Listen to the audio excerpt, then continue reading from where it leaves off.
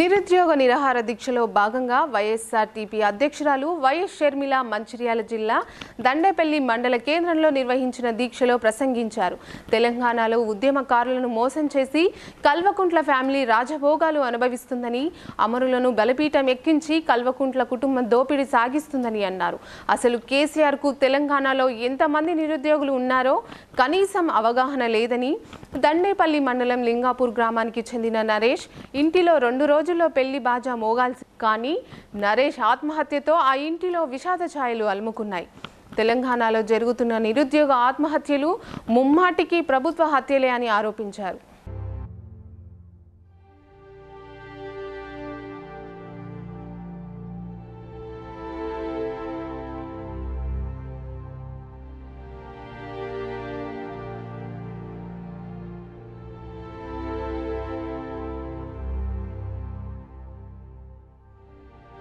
ఉద్యమంలో ఏం చెప్పాము? ఎన్నికలకు ముందు ఏం చెప్పాము? ఇప్పుడు ఏం చేస్తున్నాము అని సోయ ఉండాలి. ప్రజల గురించి ఆలోచన చేయని ముఖ్యమంత్రి ఇంతమంది చిన్న బిడ్డలు చనిపోతుంటే ఆలోచన చేయని పట్టించుకొని ముఖ్యమంత్రి అవసరమా? ఇలాంటి ముఖ్యమంత్రి అవసరమే లేదు. కేసీఆర్ గారు రాజీనామా చేయాలి. అసలు ఎవరు పట్టించుకుంటున్నారు? ఒక మంత్రి మాట్లాడుతున్నాడా? ఒక ఎమ్మెల్యే మాట్లాడుతున్నారా? ఎవరు మాట్లాడుతున్నారు? ప్రతిపక్షం మాట్లాడుతుందా? ఎవరూ మాట్లాడడం లేదు. ఎందుకు? ముఖ్యమంత్రి ఎందుకున్నట్టు? మంత్రులు ఎందుకున్నట్టు? ఎమ్మెల్యేలు ఎందుకున్నట్టు? ఈ యంత్రాంగం అంతా ఎందుకున్నట్టు? ఎందుకున్నట్టు? అంతా వృధా కదా? ఎక్కడో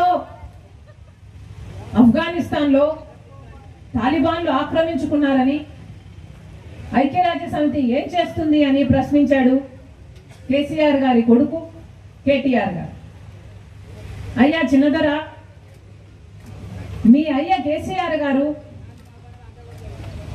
మన రాష్ట్రంలోనే ఇక్కడే యువకులకు చేసిన మోసానికి వందల మంది ఆత్మహత్యలు చేసుకుంటుంటే మీ కంటికి కనిపించడం లేదా?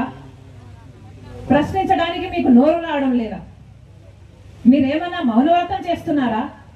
లేకపోతే గుడ్డి వ్రతం చేస్తున్నారా లేకపోతే మీ తండ్రిని ప్రశ్నిస్తే మీ మంత్రి పదవి ఎక్కడ పోతుందో అని భయపడుతున్నారా?